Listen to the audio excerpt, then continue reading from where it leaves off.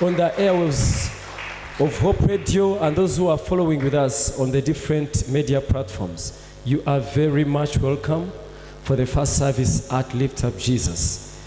And it's an honor and a privilege to be standing before you this morning. I give glory, honor, and praise unto Jehovah God, the Most High, for the opportunity and the privilege He has given unto us this morning to share the word together. Amen. You may be seated. Thank you. I would like us to join our faith together to thank God this morning for what He has yet to share with us. I will begin us sharing from uh, Genesis, the first chapter. Genesis, the first chapter. We have a few minutes, but we're going to use them profitably as the Lord takes us through.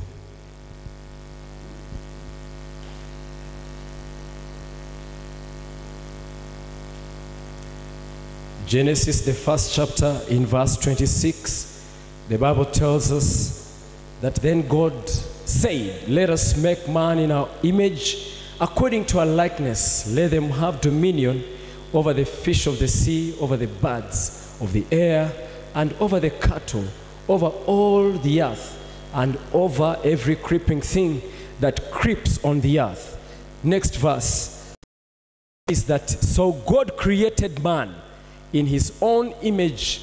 In the image of God, he created him. Male and female, he created them. So here, like we have, we know in verse 27, we see God creating man, both male and female.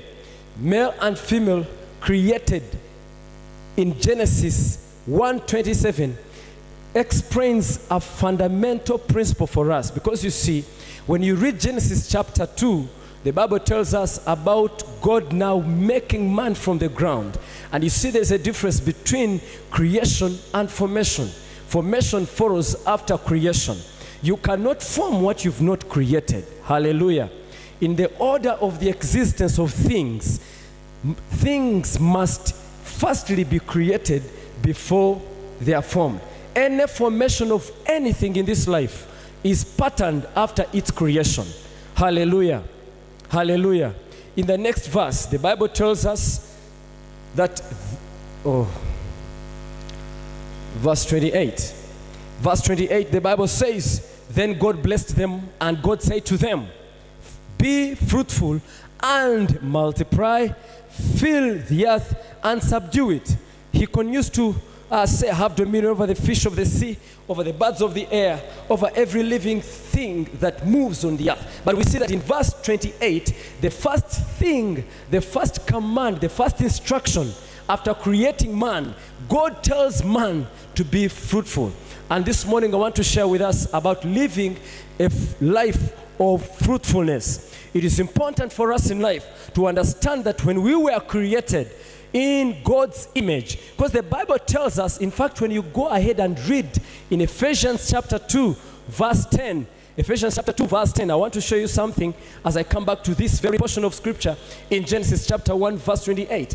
Ephesians 2, verse 10. The Bible says, For we are his workmanship, created in Christ Jesus, the new creation, the born again believer. Today, you are God's handwork, you are God's craft. And the Bible says, you are his workmanship, you are his workmanship created in Christ Jesus for good works, which God prepared beforehand that we should walk in them. Hallelujah. Hallelujah. You are God's workmanship created in Christ Jesus. And the Bible says, for good works. Hallelujah. For good works, which God prepared beforehand. Before you came to the world, it doesn't matter what you're going through right now. What I see from Scripture is a predetermined, a predetermined life according to God's design and God's creation. He knew you, the Bible says, before you are formed in your mother's womb. And He says, He predetermined beforehand that you should walk in good works. Now, when we get back to Genesis chapter 1, verse 28, so the first blessing that comes as an instruction as well to man is to be fruitful. Challengingly, as simple as many times we've heard this, not quite many believers today are living a life of fruitfulness. As we are weighed against the scales of truth and the standard of God's judgment, which is truth, His word, you realize that in many instances, not many are living a life of fruitfulness.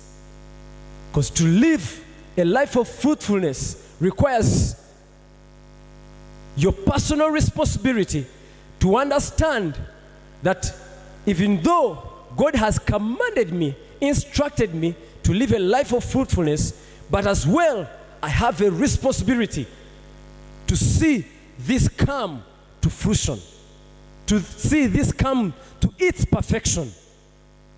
I usually say it's a truth established in the Word that you have, for example, received eternal life. But for that life to be a reality, you must understand your part. You must understand your responsibility in agreement with truth. Hallelujah. Hallelujah. You see, instructions are given, but to obey the instruction is another thing. We are instructed to be fruitful. I don't know in your own personal life, if you vet your life through the lenses of the Word, how do you measure up with God's standard for fruitfulness? Like I say, instructions are very important. In the Bible, we see that some men lost thrones because they were not following instructions.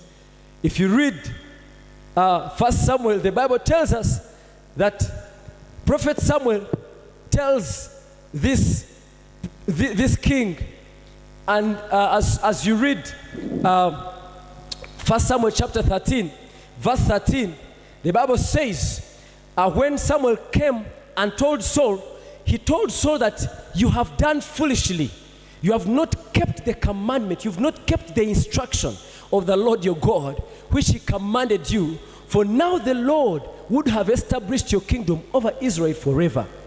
You see that throughout scriptures, different kings could not follow instruction, and some lost their thrones. There are many things. Why say this? There are many things in life that a believer may not see in this life just because of their negligence to this principle.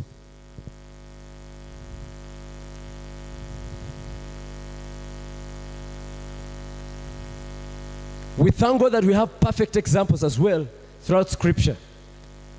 Men and women who have gone ahead of us and who pattern their lives to the obedience of instruction. We serve a faithful God, but He means it when it comes to the kingdom business. When it comes to your spiritual life, He means it.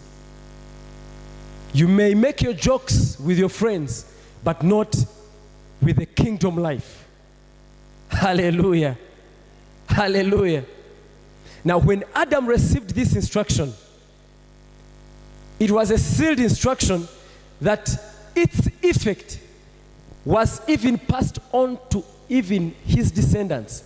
When you read Genesis, uh, when you read Genesis chapter 9 in verse 1, after the flood, even the first thing God tells Noah was be fruitful and multiply. Because it is an integral part in God's nature to confer fruitfulness to his children. Regardless of the fall of man, God remained faithful to this commanded blessing. That even when Adam fell in the garden, he had a redemptive plan. He sent Jesus. And Jesus, the Bible tells us, he's crucified on the tree. His body is taken and buried in that sculpture in the garden. Man fell in the garden. Jesus is buried again in the garden so that he would restore us to that consciousness of God's provision concerning fruitfulness.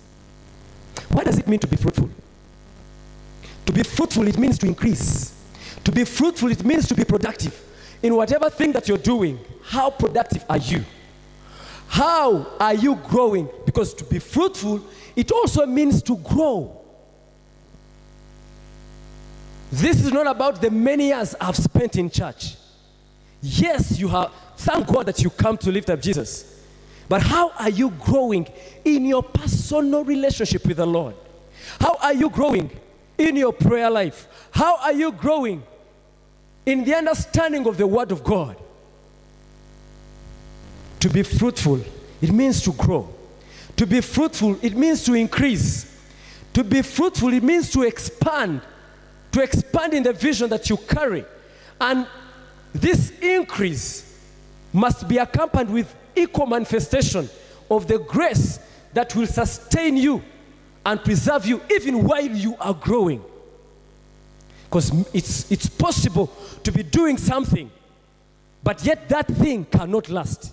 It's possible to start up something, but yet it is not going to last.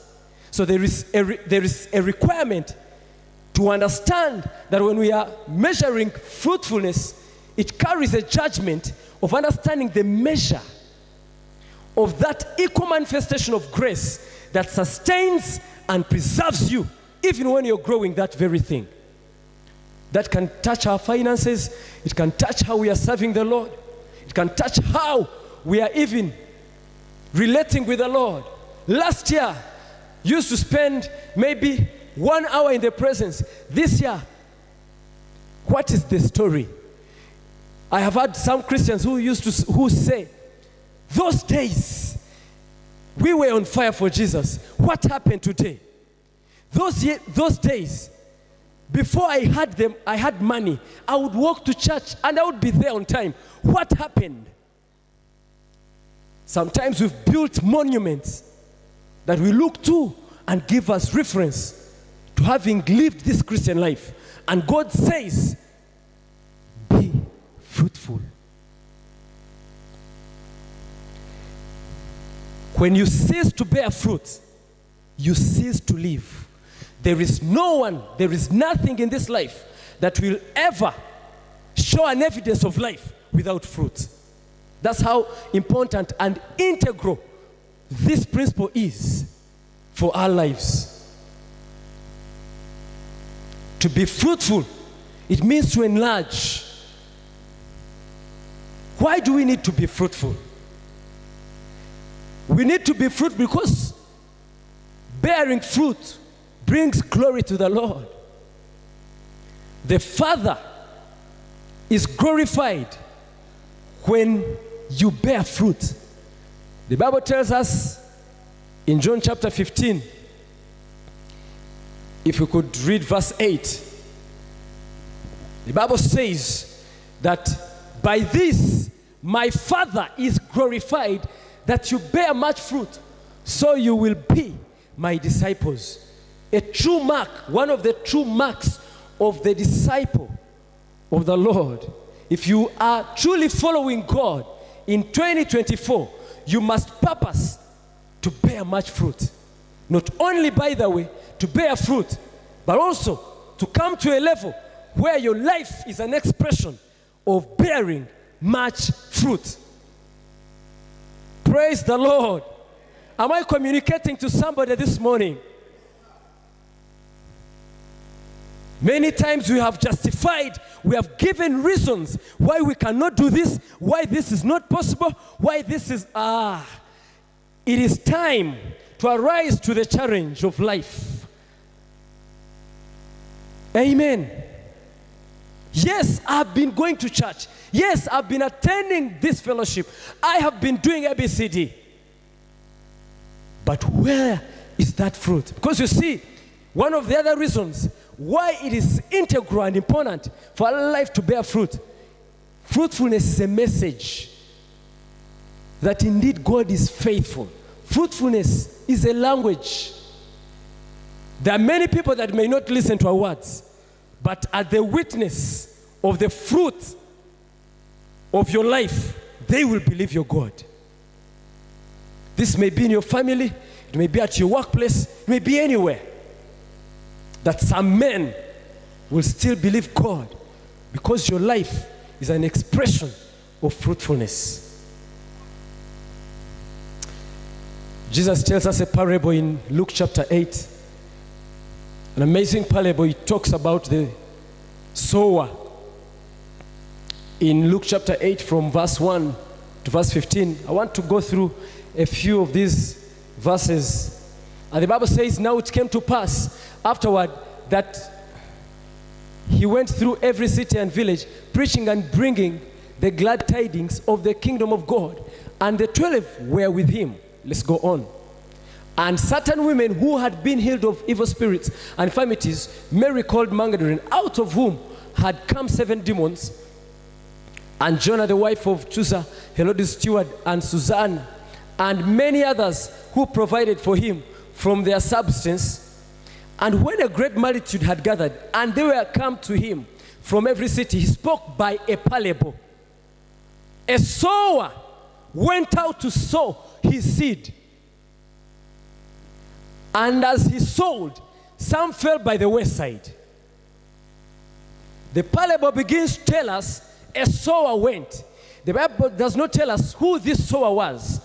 But as you move to read, the Bible says that this sower went to sow seed. And when he was sowing seed, some fell by the wayside. And the Bible tells us the experience that happened after this seed fell by the wayside. The Bible says it was trampled down, and the birds of the air devoured it. The Bible says some fell on the rock, and as soon, you see, some fell on the west side. Number one, some fell on the west side. There is a west side. In the next portion of scripture, some fell on the rock. And as soon as it sprang up, it withered away because it lacked moisture.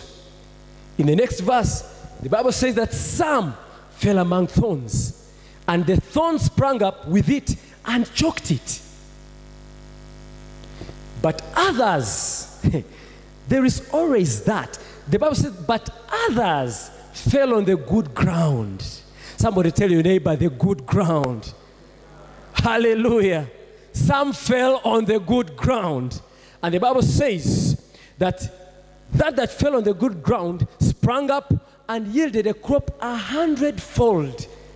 When he had said these things, he cried. And he says, He who has ears to hear, let him do what? Now, on that verse, he who has the ears, let him hear. When the Bible uses hearing the second time, that is understanding. So it seeks your understanding. Now, in the next verse, then the disciples asked him, What does this parable mean? Listen to his answer. He says, and he said to you, he said, To you it has been given to know the mysteries of the kingdom. It is given to the children of God to know the mysteries of the kingdom of God.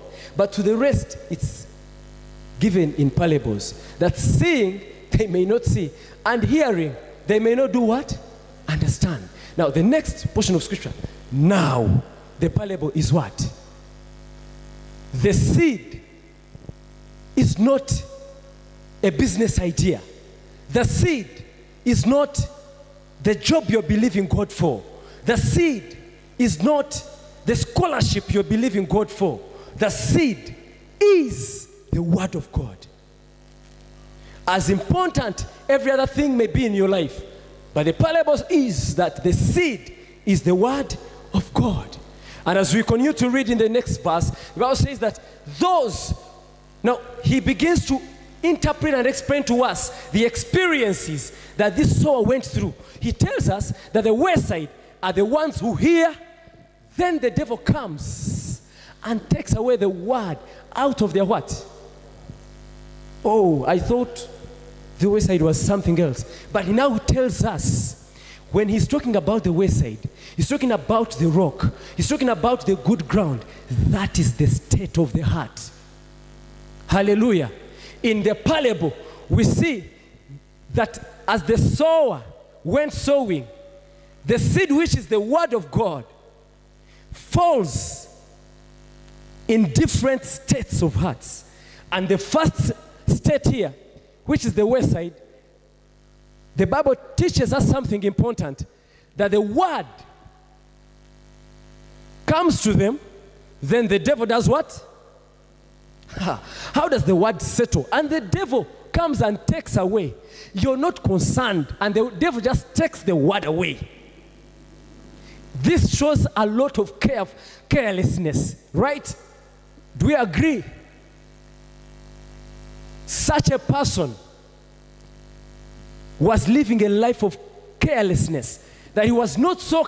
How can someone enter your house and they take everything and you are there and you're not concerned, you're not moved? But it happened. This is the state of the heart. And the Bible says the devil takes the word out of their hearts. Why? Lest they should do what? Believe and be saved. The next portion of scripture tells us, but the ones on the rock are those who hear. When they hear, they're excited. They will lift the chairs. They will scream. They will shout. They will do everything in the house of the Lord. They will talk about this word. Oh, the word was powerful. Oh, the word was so impactful. But what happens? The Bible tells us they these have no what? Have no root. They believe for a while, and in the time of temptation, they fall away. In the time when they are needed to bring forth, they can't bring forth. The next. Now, the ones that fell among thorns are those who, when they heard, they go out. Once they leave that door, they are what? Choked with cares. They left church, and all of a sudden, the challenges of life place them so low to conform to the standards of the world. cares, riches, pressures of life. They never bring fruit to maturity.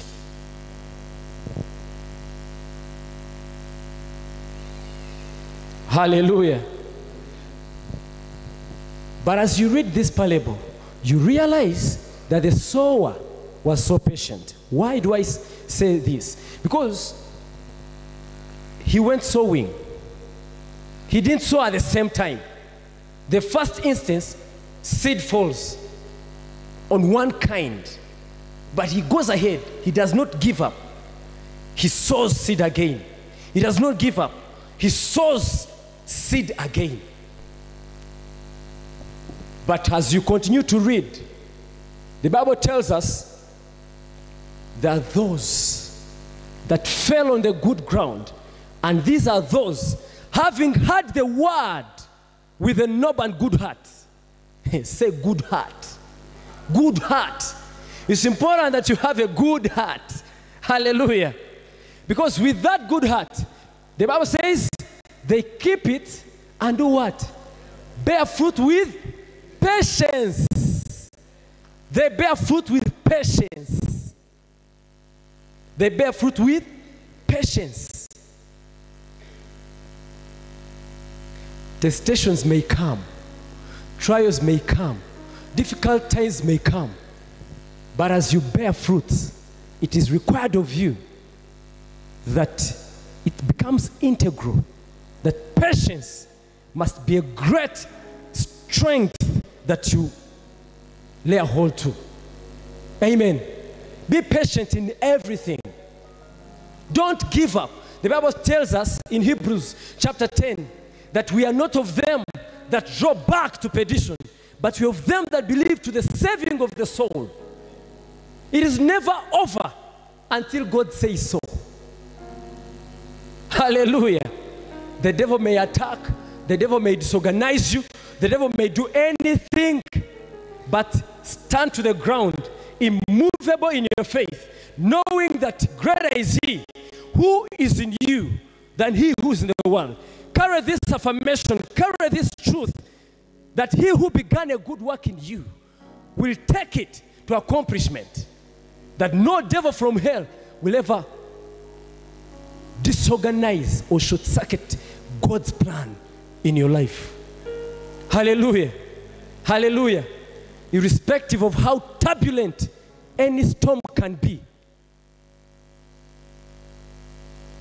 remain focused to this word. Hallelujah. When you read John chapter 15, from the first verse, as we are drawing to, to, to close, I'll end with this portion of scripture just because of time. In John chapter 15, verse 1, the Bible says, I am the true vine, and my Father is the vine dresser. Every branch in me that does not bear fruit, he takes away. And every branch that bears fruit, he prunes, that it should do what? It should bear more fruit. That it should bear more fruit. Every branch in me. The Bible, in the first verse, let me show you something. He says, I am the true vine. This is in reference to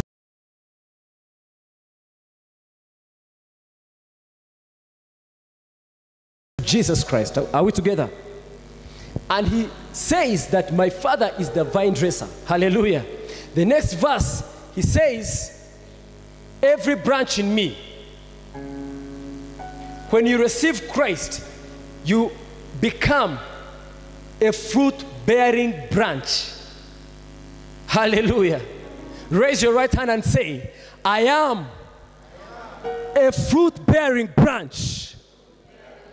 If you believe, say amen. And the Bible says that every branch in me that does not bear fruit, he takes away. And every branch that bears fruit, he does what? He prunes. The Greek word for pruning is kathairo. And kathairo means to consecrate. He cons- one of the meanings, it means to consecrate. It means that every branch that bears fruit, he does what? He consecrates it. That it should do what? That it should bear more fruit. And this teaches us that one of the key things that make your life to bring forth much fruit is consecration. There must be consecration of your heart. If you are going to bear much fruit, you must, your heart must be available for God to be dealt with. There are things that you must suffer loss for. Like Paul said, I all that I counted, oh my God.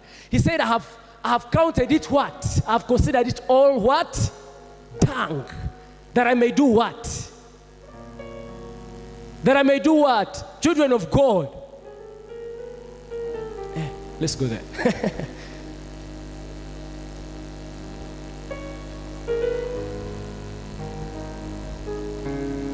Many people, they stay connected to things that must leave. Sometimes a pruning comes and it's as though you think you're being punished, but yet this is the doing of the Lord. Because whosoever God loves, he chastises. Whosoever God loves, and that's the vision you carry with God. To understand, because you see, when he prunes, like I've said, primarily, he prunes your, your spirit, he prunes your heart, he consecrates your heart. That's the first thing God consecrates. When we are understanding consecrations of our life, the first thing that God consecrates is a heart. And there are three most important things that must undergo consecration. Number one, your heart, the consecration of your heart. Number two, the consecration of your mind. Two things are important because anything that you receive with your hands, but without your heart and your mind involved in it, it is not yours. So it is important for God to firstly consecrate your heart because the heart determines how far you can go in this life. The Bible says, guard your heart because out of it flows the issues of life. Out of it are the boundaries of life, meaning that the state of your heart determines how far you can go in this life. It determines how you can be fruitful in this life. It matters. It's very important about the state of your heart. The state of the heart is something so powerful.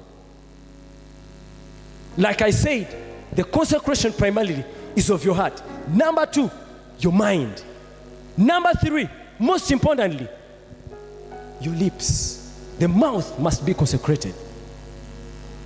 Some people have understood or have grown in maturity to understand how to guard their heart, how to renew their mind, but the lips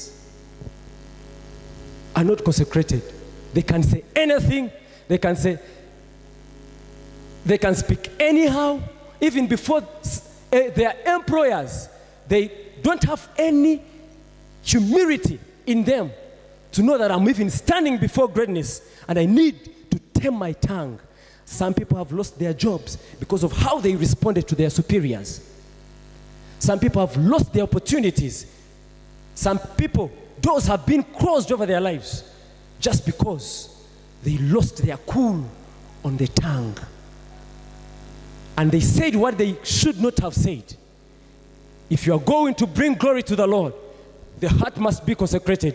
I just feel in my heart that we are living in days where our hearts, our minds, and our tongue must be consecrated. If you are going to see the revival that has been prophesied, that has been spoken to us, if we are going to manifest and walk in the increased dimensions of God's glory, if we are going to touch and change lives, our heart must be consecrated. It's a, it's a great calling that our hearts must be consecrated. It's you must leave what ought to be left. Even in prayer, some people still carry stuff in their heart. They, they have grudges with every other person and they are praying to a God who loves those people. But you want God to answer you. You want to bear fruit in your prayer life. But yet, you carry unforgiveness, you carry bitterness, you carry anger in your heart, you carry envy in your heart. The Bible says in Hebrews chapter 12, verse 1, that let us lay aside every encumbrance, every weight of sin. Let us lay aside every weight and the sin which so easily ensnares us. And let us run this race. Let us live this life of fruitfulness with what? Patience, with endurance that is set before us. This year, purpose not to carry forward any rotten tomatoes, any. You see, there, there, there are friendships that must not stay if you are serious with your life. I have seen that even in some times, some people must live your life for you to hear God clearly. You may not hear God when you're still with some kind of people, in quotes. And sometimes you find someone staying along and pursuing this person who ought to leave them. They don't know God is pruning. God is doing some kathairo, and they don't understand this that it is for their benefit to bear much fruit. and you keep a hold. And by this, you limit the expression of that provision by God for you to bear much fruit.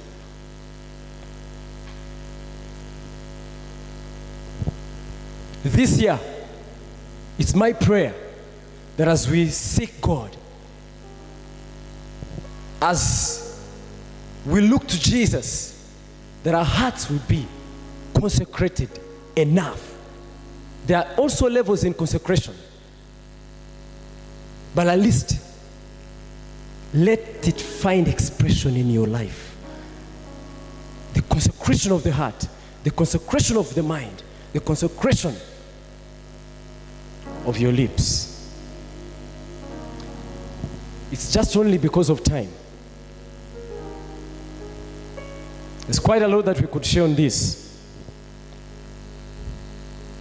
But one important thing that I can leave with you, as we are reading in John chapter 15, when you read verse 7, the Bible says, If you abide in me, and my words abide in you, you shall ask what you will, and it shall be done.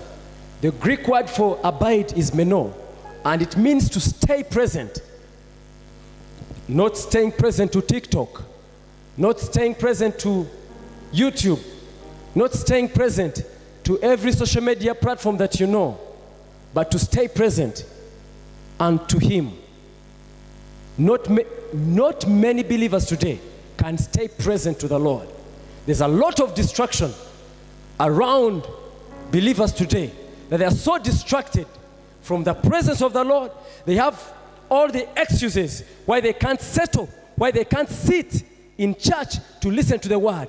But if you called them for some money in town, they would rush and be available. If you called them for something that is tangible, they will hasten to be there. But when it comes to staying in the presence, let it be prayer, let it be reading and studying the word. That is not something that is appeasing to them. It's not something that is enjoyable. And by this, their spirit man does not see God as they ought to. The vision is tainted because you see, when you stay present to the Lord, He prunes you, He consecrates. And when He consecrates, primarily is for you to see Him as He wants you to see Him. Not how you are taught, not how you've known Him before, but how He wants you, Him, how He wants you to see Him. Because how you see God is very important in establishing your relationship with Him. You can relate to God to the degree of your vision in Him or to the degree of your vision concerning Him. Inconsistency in staying present is the reason, it is the consequence, it is the outcome that you see as people not seeing a certain consistency with their life as being fruitful. Because you'll see inconsistency in bearing fruit. Today you're shining, the other day you're not shining. Today you're up, the other day you're down. Why? Because there is a gap. Many are inconsistent in their pursuit with God. Many are inconsistent. We have all the flimsy excuses why we can't be in the presence. We are living in amazing days where if you're serious to stand, you must strengthen your faith by staying present to the Lord. And to be, to be present to the Lord is to be absent from the world. You cannot stay present to the Lord if you're still present to the world. You cannot. Now, things you must let go, the things you must lay aside.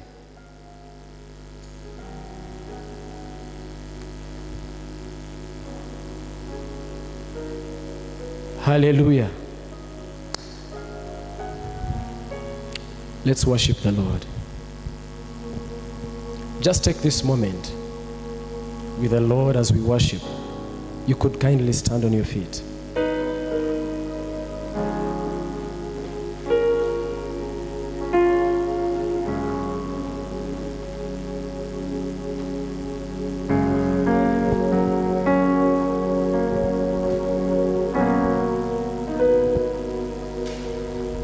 Take this moment personal with the Lord. I don't know what I don't know your experience I don't know the state of your heart. But mean it. Mean business with God.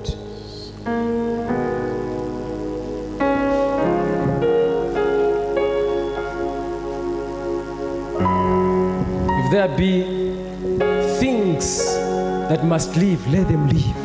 If God has to shake what He must shake, let Him shake it. If it's the grace to last, cry out to God for that grace.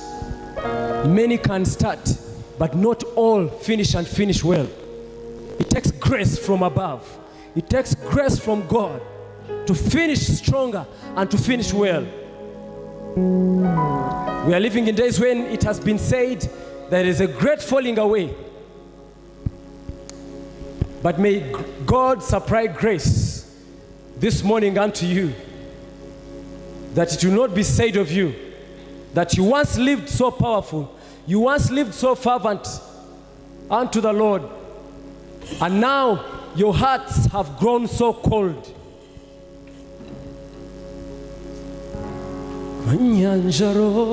Mutima gwange nembeke kuba byenjoya biri kanyanjaro mutima gwange nyanjale nyanjalo mutima gwange kyoli nembeke birungi byolina kuba byenjoya biri mundamu gwe kanyanjalo mutima Let God redefine your pursuit. kanyanjalo mutima gwange kyoli Joy, 내게 비론 지별이나 부바벤셔야 미리 문다목회 간연자로 무지마과 간연선에 무지마 관계절이 냄백해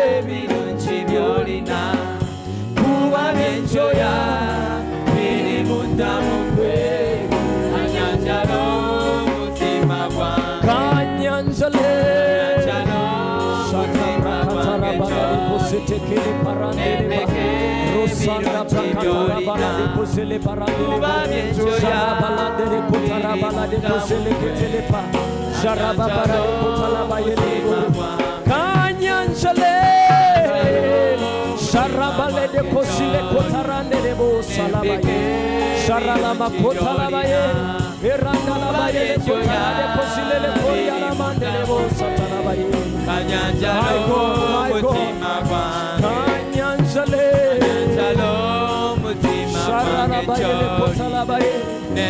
Lord God, we pray by your word you will purify the motives of our hearts. Help us to redefine what must be redefined. Help us to see what we must see.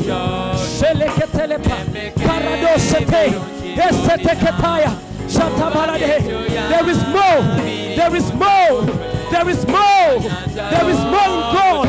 Shata barade kosetelele. Rosila lalebo. Eraba barade kosatayalaba. Eketelelelebo. The things we counted of good today, we know they cannot be compared with the glory to come.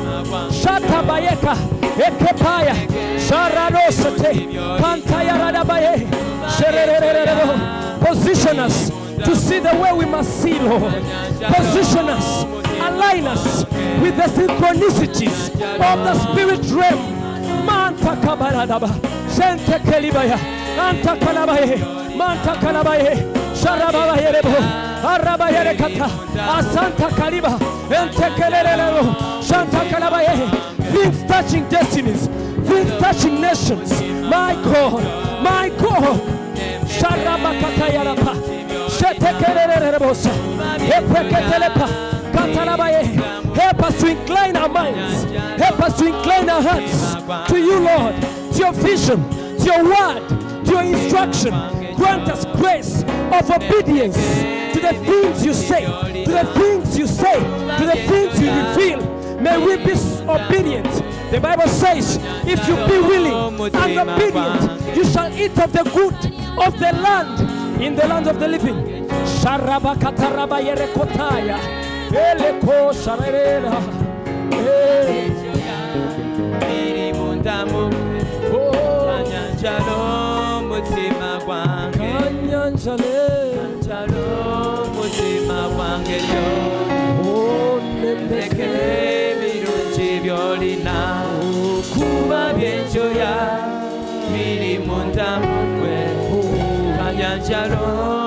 If you're here and you've never given your life to Jesus, you cannot live a life of fruitfulness without the word. The Bible has told us that the seed is the word. The parable is that the seed is the word of God.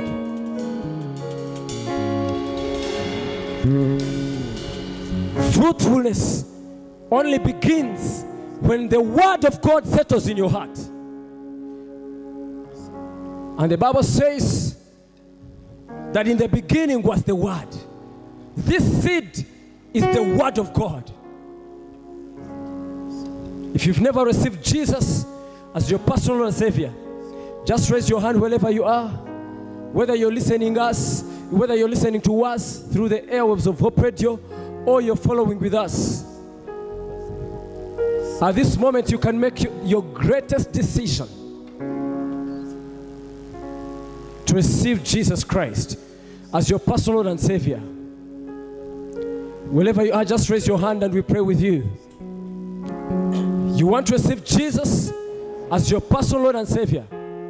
If you are here with us today and it's you I'm talking to, just raise your hand. You have nothing to be afraid of.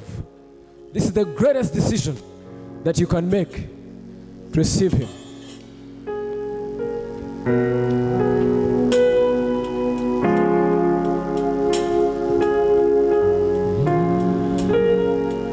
If you are here, you've never confessed with your mouth that Jesus died for your salvation and he rose again.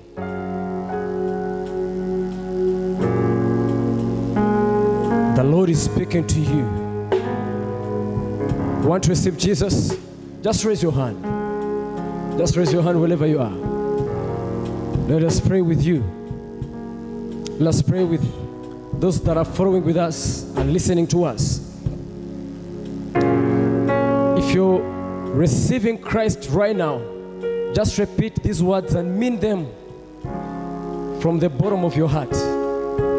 Say, Dear Lord, I thank you for this day. I've heard your word and I've believed in my heart. Jesus Christ died for my sins. I believe that you raised him from the dead for my glory. I boldly and openly confess that from this day, Jesus Christ is my personal Lord and Savior. I receive you, Lord Jesus, into my life. And from today, I'm born again. I'm a son of God. Amen. Those who prayed that prayer, wherever you are, listening from and following through the different platforms, just go ahead and share your testimony of salvation with any pastor in your neighborhood. But if you can make your way to lift up Jesus, we shall continue to help you to grow in the Lord. In Jesus' name. Hallelujah. Hallelujah.